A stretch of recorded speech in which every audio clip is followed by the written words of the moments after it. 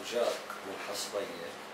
وبلش يتعلم فيه هون عندنا بالبلد وتقن الشغلي وبلش في يشتغل جاكات صغيرة اللي بتكفي لغرف مبنية لغرف وبعد كم سنة تطورت الشغلة وصرنا نحن نطور الشغلة شوي شوي بالصناعة وتقدمنا بالشغل صرنا نعمل وجاكات مع كبيرة خمس صالونات ومعجر ضربات وصناعة فتحة للشوي بجنب الوجاك اللي الواحد يقدر يشوي بقلبه وكزيزة كبيرة كمنبر خمس صالونات وفي وجاكات فرن بالإضافة لوجاكات فرن يعني اللي بيعمل أكل فيها. وتطورت كمان مي سخنة طورنا مي سخنة بالوجاكات عملنا عدة أشكال.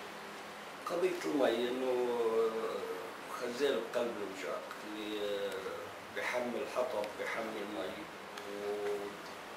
والمي بتروح على الحمام الشمسي بتسخن المي وبترجع كمان لرادياتور في تعمل عملية رادياتور بقلب البيت اللي الواحد بيقدر يستعملها.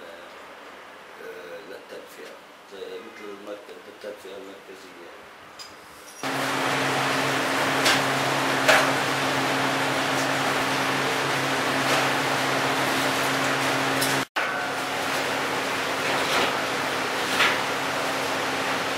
حوالي تقريبا 10 سنين.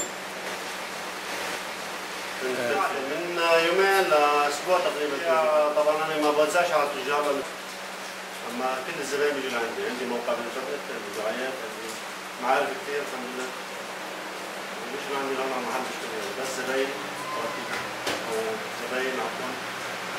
يعني مش تجار أنا أول شيء بلشت صناعة الدفايات هون بالعربي.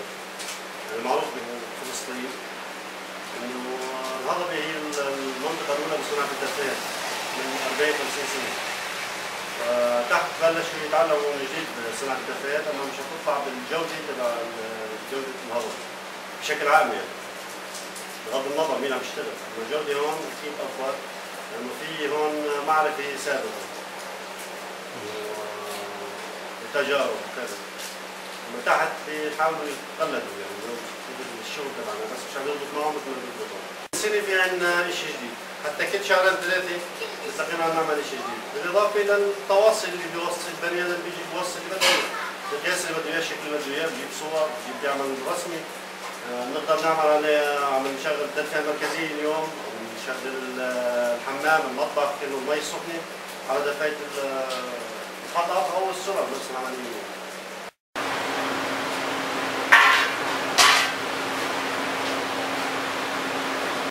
بلدنا من قديم الزمان مشهورة بالصناعة إن كان اليدوية بالصناعة المحلية من قبل الاحتلال من قديم نحن ناس. موصوفين بكل هالمنطقة بعد القنيطرة مجد الشمس في التصنيع في الأشياء هذه وحتى بالوجاقات هاي كان القديمة السورية اللي كان نعملها أو جديدة. واليوم صرنا معروفين إنه الصناعة اللي بمجد الشمس بالنسبة لصوبات الحطب أو صوبات السولار فينا نحن مشهورين فيها. وجماعتنا هون شاطرين بكل هالمصلحة. صار يقصدنا الغريب والقريب. إنما هون منطقتنا زاوية ميتة نحن زاوية بلبنان وزاوية بهي على الحدود السورية. غير القاصد بيجي لعنا بهيك نحن عم نخلي السايح يجي لعنا بصناعتنا ومنخليه يجي بس يقول آه إنه هاي شغل مجد الشمس لأنك هي دعاية بتبيع أحمد بفوت لعند محمد. اختياريتنا قبلنا كانوا عم يعلمونا هالأشغال. هني أبصر نعش. إنما آه بتبيع من تصنيع مجد الشمس بكل المطالح بس تقول بفيلم فلسطين بس تقول صناعة مجد الشمس بدك بتلاقي في إلها آه برواز معين إنه بضاعة مقبولة هي وهي نحن نحمد الله عليها. وقلت لك من قديم الزمان نحن وصفنا بالخنجر المجدلاني اللي كان معروف بكل المطارح إن كان بلبنان ولا بسوريا ولا قبل 48 زمن فلسطين لحد هسه بيسألوني وين الخنجر المجدلاني؟ ونحن بنفتخر اللي عندنا ناس شاطري وأهلنا علمونا هالأشياء. وفي صناعية غيرنا دير بالك في بالقرى العربية بسخنين وبغيرها. إنما شغلتنا آه، موجودة ببرواز حلو كثير كثير كثير. ومثل ما قال هذاك الزلمة العين اللي بتاكل مش الثم المنظر اللي بده يحطه اللي عنده بيت مكلف وكذا وكذا بده منظر بالبيت حلو. يعني بتلاقيه عاملين له قزازه من قدام. بس تصير تلفها النار جوا شايف كيف في له منظر حتى في له شوايات على جنب في له جارور اللي هو بيقدر يعمل عليه فطاير عقود هذه آه، كاتو. لحمه بالصينية بيقدر يعمل عليه بيفتح في له جارور ثاني.